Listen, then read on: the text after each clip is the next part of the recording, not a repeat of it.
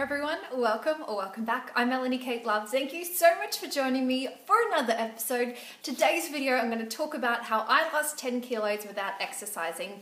Now, this happened about three years ago at the beginning of my journey to become my greatest version. I started learning about spirituality and self love and what foods actually work truly best for me and I actually managed to lose 10 kilos by purely cutting out preservatives, which then left me with foods in their most natural state. And today, three years later, I feel truly at my best eating whole plant foods. So, take for example a sweet potato. You chop it up, put it in the oven, you make sweet potato fries, have some tomato sauce with it, whatever you want to do. That is a whole plant food. Um, fruit is another one. Just eating foods that literally come out of the ground and not having them full of preservatives and everything like that. That was the easiest way.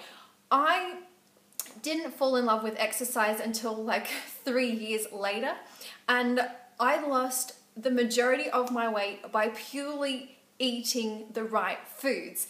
And I know a lot of people, well, I see so many people on Instagram saying, you have to work out this many times and blah, blah, blah, blah, blah. Yes, I work out five times a week now, but purely because I actually love it and it is not a chore anymore. So I just wanted to remind you that, like, wherever you are on your journey to become your greatest version, spend time educating yourself on nutrition and not looking at food as calories. If you look at food as nutrient dense, which you will notice if you check out my playlist, um, How Not to Diet, which features Dr. Michael Greger's latest book, which is the latest in evidence based nutrition. It talks about the daily dozen and foods that you need to eat that are going to help prevent and reverse illness and disease within your body. I didn't have that information when I started, but I was learning about um, how to cure cancer because I noticed that everyone around me was basically dying of cancer or knew someone who had already passed. And I was like, I don't want to be sick. And that didn't really appeal to me. I also wanted to cure my skin. I used to have really bad acne, but I don't anymore. And um, I had, I was like 10 kilos heavier at that time. Um, had really bad digestive issues. It basically came about me trying to look better and feel better and live a life of vitality and just feel good about myself because I never did. And I noticed that fruits and vegetables was basically like the linchpin to help kickstart my life. I am who I am today because of that one choice to better the food that I was like nourishing my body with.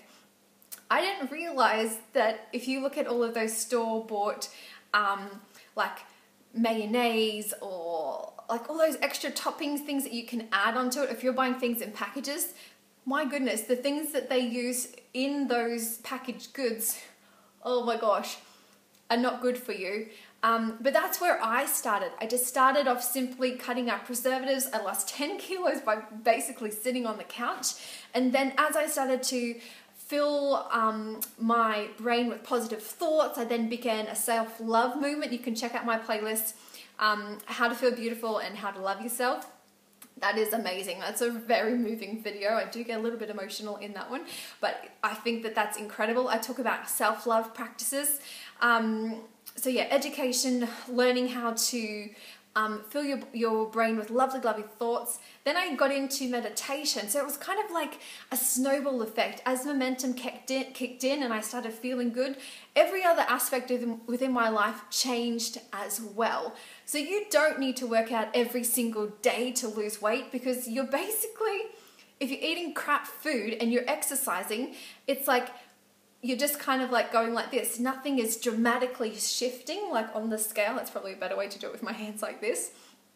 So I was like, I was slowly eating better, I was feeling good, and then the weight just started coming off, and then it kind of like snowballed out from there. I noticed also when I started switching up um, my cravings for things, I then did research into cravings and found that that is a nutrient deficiency.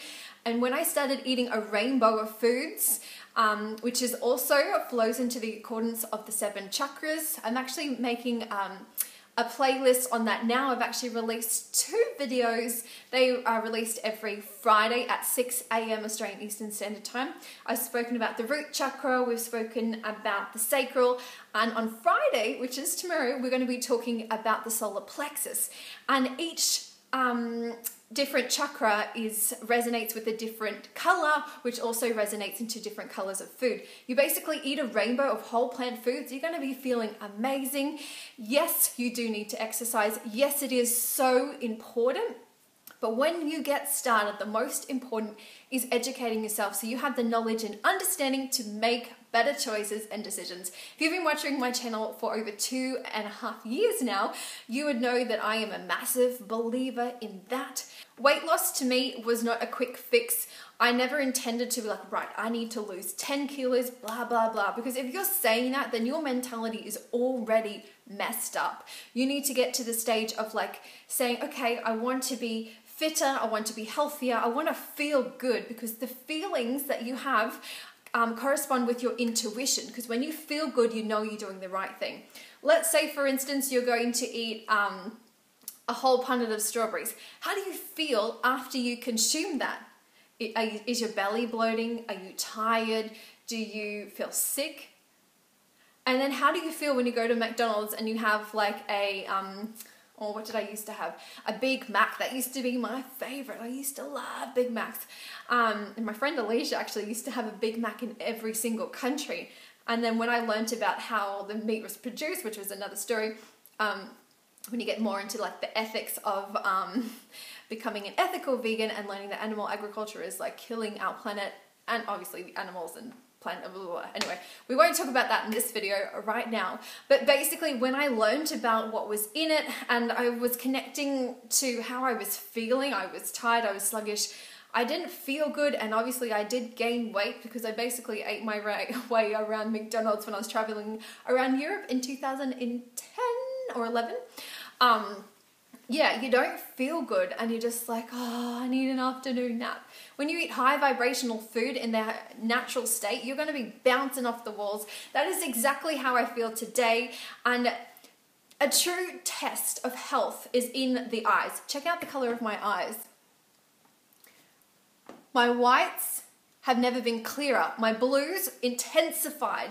They used to be a bit of a dull color, but when you look at somebody's eyes, you can see into their story of health. There's a lot of people out there and their eyes aren't looking too good, and then that's the best indication for health because you could be thin but be unhealthy. So, my message today educate yourself, make sure you're eating whole plant foods, nourish your mind, body, and soul with beautiful, loving thoughts, loving food, high vibrational things. Surround yourself with beautiful people, they will rise and ah you're going to be feeling amazing. If you need any information to help support you, please check out my healing and transformation playlist. It's going to help you um, to basically clarify in detail everything that I have spoken about today. You don't need to exercise to lose weight.